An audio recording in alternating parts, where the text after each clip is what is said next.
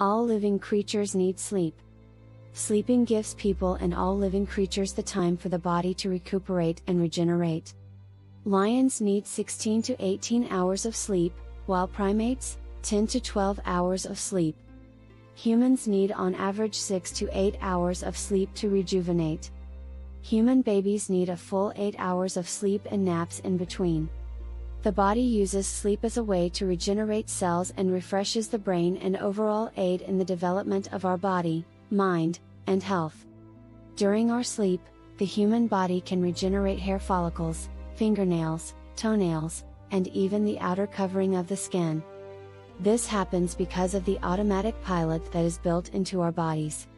People tend to think that the body only needs to recharge spent energy on the day's work, but in truth, the body works the regeneration cycle much faster when the brain does not control much action.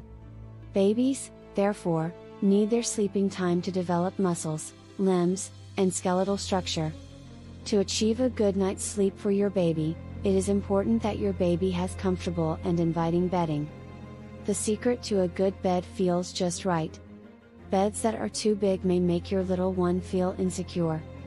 Your baby's bed should be cozy and offer security for them to get a good night's sleep.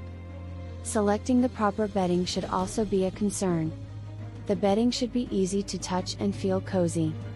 Bedding that is too stiff or even too fluffy decreases your baby's comfort level and therefore reduces his slash her sleep time.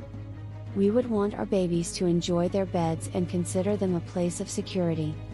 Try to make your baby's sleeping experience a pleasant one. The bedding should be inviting to the eye. There are so many wonderful patterns and fabrics on the market today that choosing the right bedding should not be too difficult.